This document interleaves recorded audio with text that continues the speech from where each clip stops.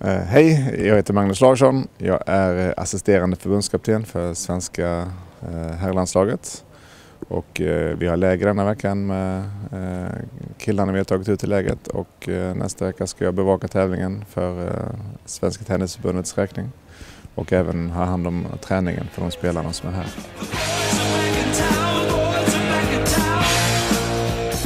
Bakom oss spelar Christian Lindell och Mikael Ryderstedt. De två som fick de två återstående wildcardsen. Varför gick det till dem? Eh, ja, eh, i Mickes del handlar det om att han är Sveriges högst rankade spelare efter Robin Söderling. Eh, spelade gick till kvartsfinalen här förra året, spelade bra grustennis och eh, även varit, eh, sett väldigt bra ut på träningen här i år. Eh, och det andra gick till Christian Lindell som har varit eh, på en utflykt. Han har spelat för Sverige och Brasilien, gått lite fram och tillbaka där. Nu är han svensk igen som är väldigt glädjande för oss.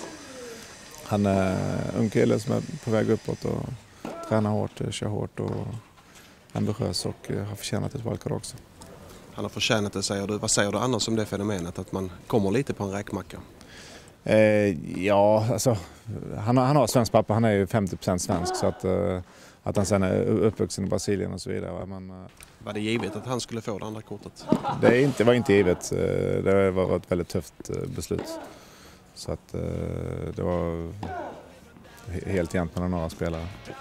Så att helt givet var det inte.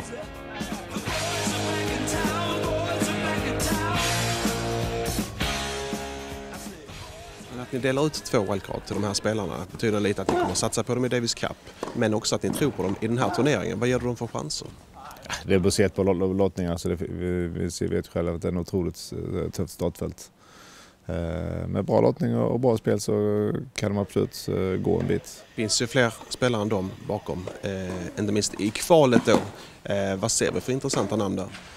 Ja, i kvalet. Vi har ju Patrik Rosenholm här som har spelat väldigt bra på träningen och, var hög på en wildcard main där så att han har sett jättebra ut. Sen har vi Erwin Ileskovic som har haft problem med knäskada. Men är på G igen, en otroligt bra träff. Så på en bra dag slår han vem som helst. Eh, vi har Patrik Brydolf som har varit här och som har kört som en otroligt bra slagspelare.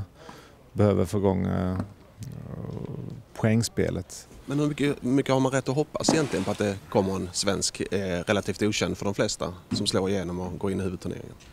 Ja, vi, vi vet ju inte vilka som kommer till kvalet heller men, men det är helt klart att det är några som kan kvala in. Och väl, där kan allt hända. Då får man, får man tre matcher i kvalet och, och inspelade tävlingen. Va? Så att, eh, det har hänt större under än, så. Så att, eh, vi, vi hoppas på att det är framgångar i kvalet.